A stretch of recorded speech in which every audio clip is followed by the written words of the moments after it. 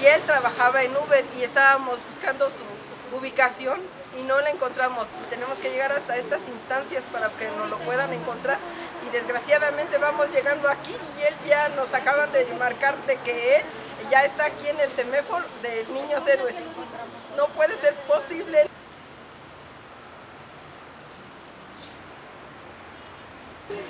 Aquí la Fiscalía de Personas este, Desaparecidas no, no llevaron un seguimiento. Quiero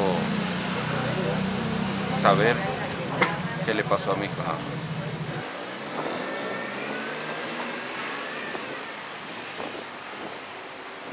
Estamos muy tristes y todavía con esta situación de que no es eficiente y eficaz el proceso, de verdad que es muy complicado, con el dolor que traes, con la carga que traes, con el cansancio de una búsqueda interminable de mi primo y todavía estos procesos tan difíciles, no queremos que sea una cifra más, una estadística más de, un, de una persona que fue lastimada, que fue asesinada.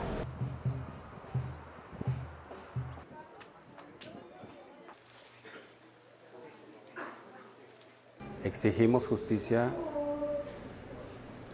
para mi hijo. Queremos que se agilicen los procesos para dar con los responsables.